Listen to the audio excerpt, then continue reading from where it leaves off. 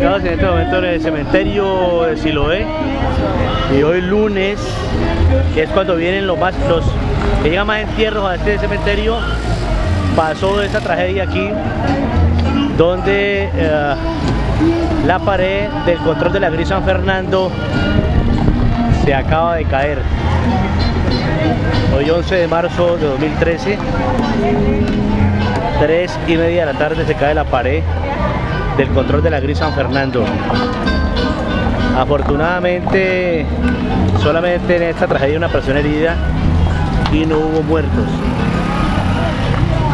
Este es el control del antiguo control de la gris San Fernando en el barrio Siloé.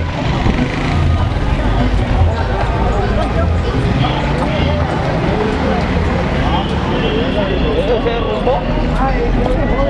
derrumba esta pared en el cementerio.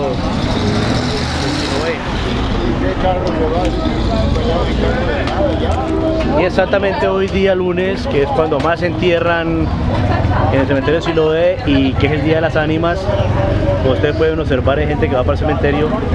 Y esta se ha caído aquí en la diagonal 51 entre calle novena y uh, séptima oeste del barrio El Cortijo en Siloé, la comuna número 20 antiguo control de la Gris San Fernando, hoy propietario de Luz Malca.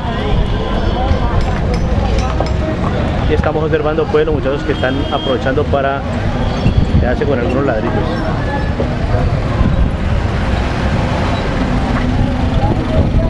Tragedia también anunciada porque esta pared estaba muy frágil